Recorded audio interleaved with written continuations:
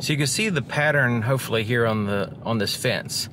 Uh, there's actually the lights will move, uh, but there there is a there's like a little bit of a blind spot that's supposed to line up with oncoming traffic, and we'll see how well that works as we drive. Uh, it's like a little shadow spot that's below the actual cutout, uh, the cutoff area there. So you can see the cutoff on this car. Um, you can see it's below the windshield. And the movement of the headlights, uh, to me, doesn't really add a lot. Um, but, you know, that's just kind of the way it's made.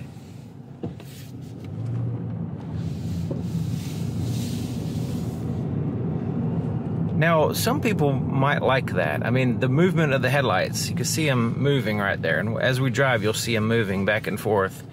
And they just appear to, it seems like a little gimmicky, but, you know, there might be scenarios in which uh, they might be useful. But for me, it just doesn't really seem to add much.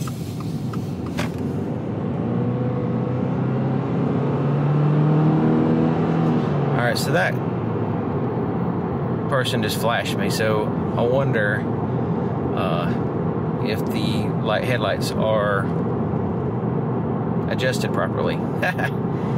Because that sometimes happens. Okay, so you can see that little shadow on the road on the to the left. So that's supposed to line up with the oncoming traffic. So, but you can see the cutoff as we're going up and down the hill. That cutoff is a little bit high there.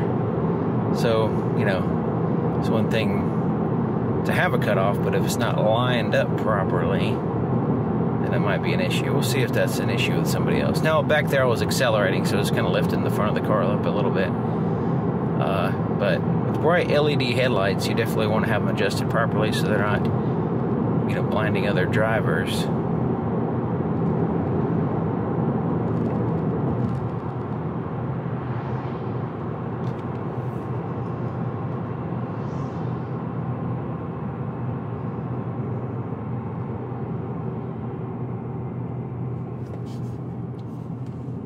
You can see the movement of the headlights here.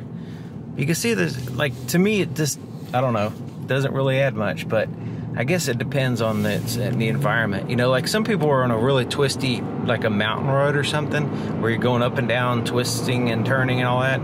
Um, that might be useful for that scenario. It's just the environment I'm in that just doesn't seem to add much.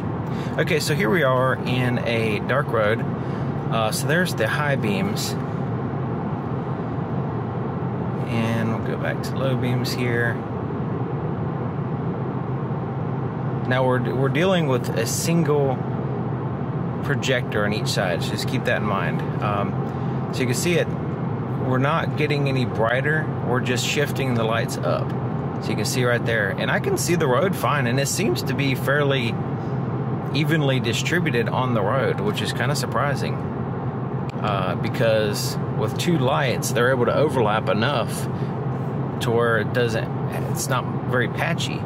So I think it did a pretty good job actually. Uh, not not the brightest headlights, but as far as like being able to see at night, this looks pretty good. Now this particular road has you know the trees off from the road pretty good, so you can see the potential distance there is hopefully you can see.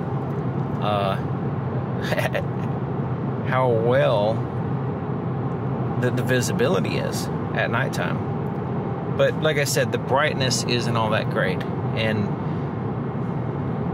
but it's still adequate. You can still see it's it's not a problem. But if you're accustomed to brighter headlights, you know, I mean, I've seen a lot of different headlights, and these are just a little bit dimmer than other ones I've seen. But still, considering it's just one projector, I think the handle of the light, uh, the light pattern, and the um, just makes the visibility pretty good. You know, so we're turning just slight turns here, and the headlights are moving slightly, but seems to work okay. Let me know what you think in the comments, though. Now it does have the automatic high beams, and uh, they seem to work okay. I mean, so far with my experience, I had them off a second ago, but uh, turned them back on. So that way I can keep an eye on that technology, make sure it's working properly.